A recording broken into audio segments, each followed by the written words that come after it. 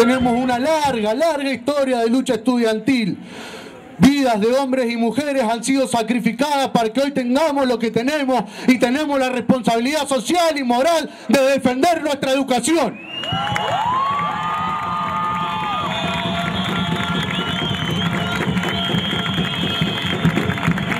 Quiero, es importante que para hacer esto nos organicemos, compañeros.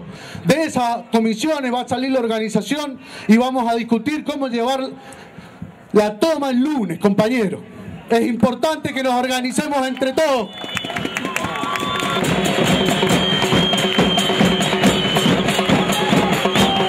Sí, por supuesto, yo creo de que la situación que hoy por hoy está viviendo el país y las carreras universitarias públicas o privadas eh, nos están demostrando cuál es la situación actual que vive el país y realmente creo que es bastante complicada. Yo soy estudiante de la Tecnicatura Superior en Locución de Radio y Televisión que está dictando el Colegio Normal.